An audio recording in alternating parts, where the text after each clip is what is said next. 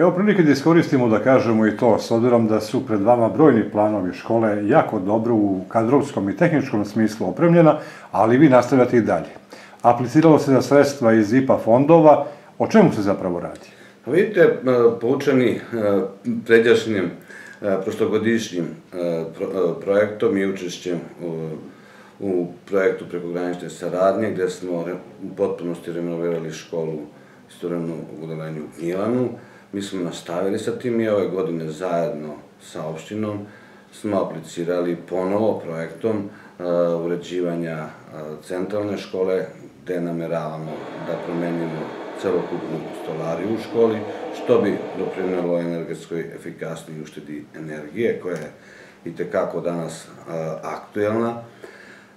Zatim, u okviru tog projekta planiramo i modernizaciju svih učionica, uvođenjem nove informacijone tehnologije, opremanjem svih učionica sa projektorom i laptopom, čime bi se nastava mnogome napredila, učenici bi mogli mnogo, mnogo brže da dolaze do podataka, a i olakšala, bilo bi olakšanje kod prilikom prezentacije određenog gradiva nastavnicima.